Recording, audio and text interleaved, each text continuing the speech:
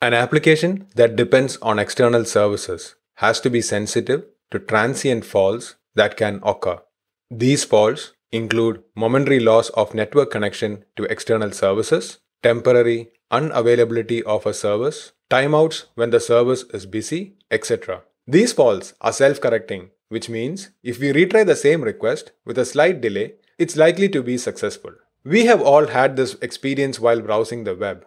At times, a web page may return an error, only to see that if we retry moments later, it will be successful. Let's see how we can build in this behavior to the applications that we write to, so that it does not error out on the first request, but intelligently retries to get a successful message. Hello everyone, if you are new here, my name is Rahul and I am an Azure MVP working out of Brisbane, Australia.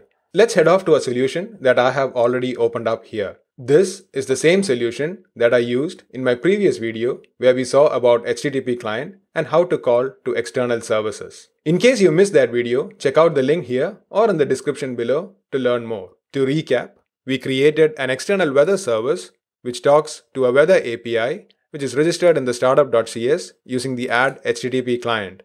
It has the API details in here and the weather service is talking to the weather client using the API key. So it makes a request based on the city name and the weather forecast controller returns this data using the weather service. Let's run this to make sure that it is working as expected. The application has launched and it makes a request with the city name Brisbane and it returns the JSON data from the external weather API. So it looks like this is all working fine. But let's see what will happen when the external API service fails to return or there is a network connectivity issue. To make sure our API returns a valid result only when the external API request is successful, let's go back to the service class here and after the response, let's ensure that the response is successful. So we can use the ensure success status code to enforce this. So this looks at the status code and if it's not a success one, it will throw an exception. Let's run this again and it runs as expected because the external API is returning a valid response. Now, there is no way that I can make this api.weatherapi.com to throw an error because I don't own this service. And this is an externally hosted service. But there is a way I can simulate this error. I will use a tool called Fiddler, which is available for free in this URL, which will be also there in the description below. Now, Fiddler is a web debugging proxy that helps to capture all the HTTP requests between your computer and the internet. Fiddler allows to inspect traffics, set breakpoints, and fiddle with the request and responses. Looks exactly something that we want. I have this installed on my computer, so let's open this up. So I'll use the Fiddler Everywhere, which is the newer version. I also have the older version, which is Fiddler 4. So let's open up Fiddler Everywhere. Fiddler is now running on my computer and you can see all the HTTP requests that my computer is making at the moment. So let's go back to our application and run this again. The application is running, so let's switch over to Fiddler to see the request captured in there. So we can see a local host 5001, which is the request that we make to our API, and a call to the api.weatherapi.com that our API makes to the external servers. We can see the full request and response in here. So if you want to see the response data, you can see that JSON here as well. Now there is a lot of requests that's getting shown in Fiddler here. If you want to filter this, you can filter it by different properties. In this case, let's filter using the host. So I want to see only the ones that has localhost and 5001, which is the one that is making to my API server, and also the one that contains api.weatherapi.com. So let's keep this as or. So if the host is containing either this or this, it's going to show up here. Let's click filter and we see only the request that we are interested in. Now let's see how we can intercept this request and return an error message. Let's right click on the request to the external API and say add a new rule. This is going to add this to the autoresponder tab, which is where we can intercept the request and return whatever we want. So let's click edit and say to return a 500 error. To do that, let's remove all this data and say HTTP 500 code and also an error message. So let's say in this case, this is a transient error. So let's click save. If you want to retry the request from Fiddler itself, you can right click from here and say replay and say reissue request. Alternatively, you can also use the keyboard key R. So if I simply select this and click R, it's going to replay the same request again. Now you can see this time it is returning a 500 because the autoresponder is turned on here and it's matching this exact URL that we sent before. It intercepts this request and sends back our manually crafted response, which is a 500. Let's go back to our application and see what happens when we rerun this request. Let's hit refresh and we see that it returns an error from the response.ensure success status code line that we returned. That's because this request is returning a 500 now. If you switch back to Fiddler, you can see this request to 5001, which is subsequently making to the weather API, both of which are now returning 500. Now let's see how we can add code to handle these errors in our application. We will use a library called Polly, which is a .NET Resilience and Transient Fault Handling library. It allows developers to write various policies on the HTTP request in a fluent and thread-safe manner. Polly is also supported by the ASP.NET Core and is by default built in into the HTTP client. So if you go into the detailed wiki page here, you can see that we need to install an ASP.NET Core NuGet package. So let's do that first in our application. Let's copy this, which is microsoft.extensions.http.polly, go back to our solution and add this from the Solution Explorer, right click and say Manage NuGet Packages. Let's search for this library and add this from the NuGet.org. Clicking Add is going to install this NuGet package into our application. The NuGet is successfully installed, so let's see how we can start using this new NuGet package. Let's go back to the startup.cs where we are registering the HTTP client which talks to the external weather service. Once you have added the HTTP client, we can call an add transient HTTP error policy, which is now coming from the Polly library that we just added, which takes in a delegate where we can configure this policy. So let's take policy and say policy dot wait and retry async. So this is going to wait and retry the request the number of times that we are going to specify here. So let's say the retry count is 3, which means it tries 3 times.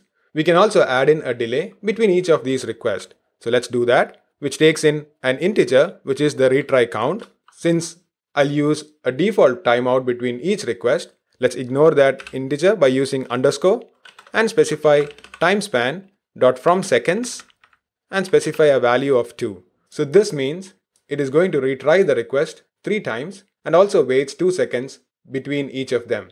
Before rerunning the application, let's come to Fiddler, clear all these requests. We can turn off the autoresponder here so that the request goes to the external service as expected. Let's dock these applications to the sides so that we can clearly see the request and also the response in our application. Let's go back to Rider and run this application again. The application is running and it has made a request to the API and subsequently to the external API as well.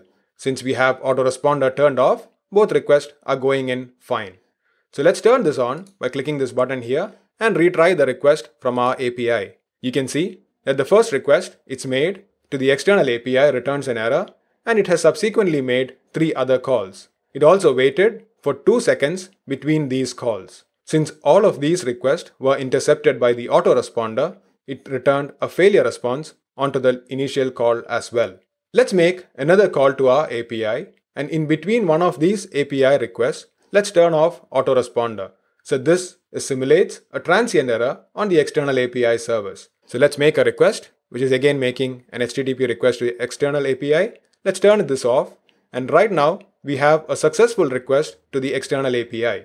This also causes our initial localhost API call to be successful. And we can see the response as expected. So even though the external API failed for a moment, our application is still resilient to it and made multiple requests to that. Let's take a closer look at the extension method that we used from Polly, the add transient HTTP error policy. You can see that this is pre-configured to handle errors, which includes network failures, HTTP 5XX, which stands for all the codes that starts with a 5 and also a 408. So in case the external server returned an error outside of these status codes, it would not have retried. Let's see that as an example. Let's go back to Fiddler. Autoresponder is turned off.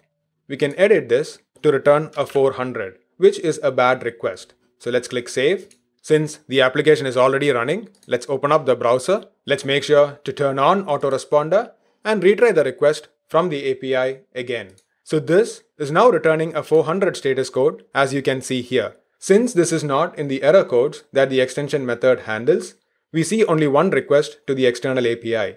There is no retry in this case. It immediately returns back an error. Only the error codes that we see here are considered as transient error policies, the ones that can go off even if we retry after some time. A bad request is a bad request and it cannot get automatically fixed, which is why it doesn't retry on those errors. Polly offers multiple resilience policies. We saw the first one, which is the retry policy, which allows configuring automatic retries for transient errors.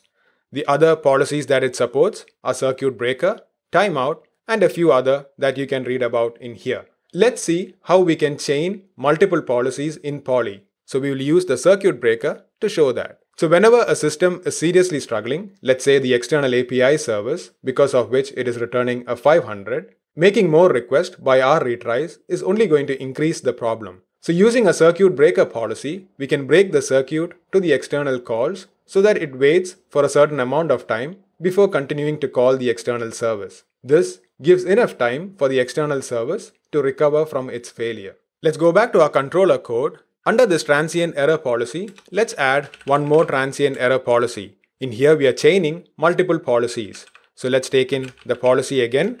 This time, let's call the circuit breaker async method and pass in an integer, let's say 5. So it waits for 5 requests to fail subsequently for the circuit to break. Let's also specify a time span, which is the time that it needs to wait before making a call to the external API. So let's say time span from seconds. In this case, let's say 5. So anytime there is 5 consecutive requests to this external API, which is failing, it waits for 5 seconds before making another request. Make sure to edit this response and set it back to 500 so that this is a transient error that's returned and also turn off autoresponder for our first request. Let's clear off all these requests and run the application again. The application is running as expected and makes a successful request to the external API. Let's now turn on autoresponder and refresh this request. This kicks in the first transient error policy that we added and it retries the request three times. Now once we retry again, it's going to cross the limit of 5 and it makes only one request. This is where the circuit breaker policy is now kicking in. So you can see that since there is a total of 5 requests to the external API that's failing, it no longer makes additional requests.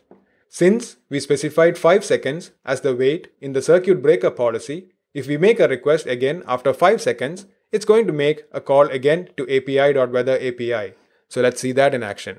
This again is returning an error because we have autoresponder turned on. If the application was to make a request within that wait period, let's say two subsequent requests, let's click 2 of the refresh, you can see that it no longer makes a call to the external API. This is because within the circuit breaker policy timeout, it does not call to the external service. This helps the external service to recover from whatever failure that it is facing. So if we make another call after the 5 seconds period, it's again going to call the external API. So now this is not adding in the three more requests that was added by our first policy. It waits for the first success message from the external API to break the circuit. To do that, let's turn off autoresponder and refresh this again. Now the API call is successful and it returns as expected. If we were to turn back on the autoresponder and refresh again, you can see the initial policy getting kicked in. So now it has started back to make the additional request on the retry. So this circuit policy is going to continue in a cycle here. Let's clear all this, turn off autoresponder and make sure the application is now working as expected.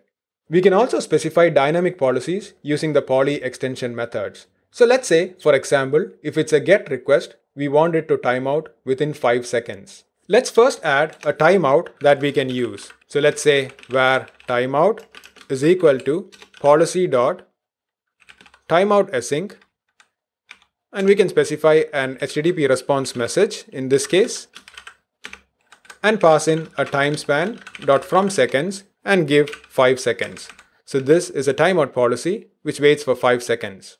Below our circuit breaker policy, let's add a add policy handler method, which now gives us a request object. So let's say request, and then we can write conditions based on this request.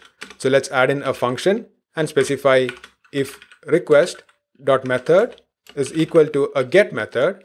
In this case, return the timeout that we have. So if this is not a get method, let's return back a policy dot no op policy and return the HTTP response message itself. This is just for demo purposes. So whenever a get method is called, it only waits for 5 seconds. So let's run this application again to see this in action. Let's open up Fiddler. The application is running as expected since we have the autoresponder turned off. Now to simulate a delay, let's right click on the request and click add new rule. So let's turn off the first condition and edit this to create a delay. Let's edit that and in the action, we can now specify a delay. So let's specify a delay of 10,000 milliseconds. So this waits for 10 seconds. Let's click save. So now we have the request being delayed. I have turned the other one off. Let's make the request again. Now we can see the external API request is still waiting because we have added a delay of 10 seconds. Our API call has returned back a 500 because of a timeout of 5 seconds, even though the external API did return a success after the delay of 10 seconds. So we have conditionally added in a policy using the add policy handler method. In the policy class, you can also see the other policies that we saw in Polly, like bulkhead, cache, timeout, etc. You can use these to write in policies based on your application needs. I hope this helps you to understand more about Polly and how to use this with the HTTP client class in an ASP.NET Core application.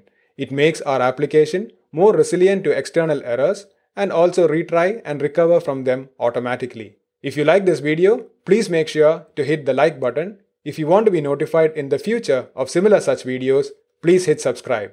Thank you and see you soon.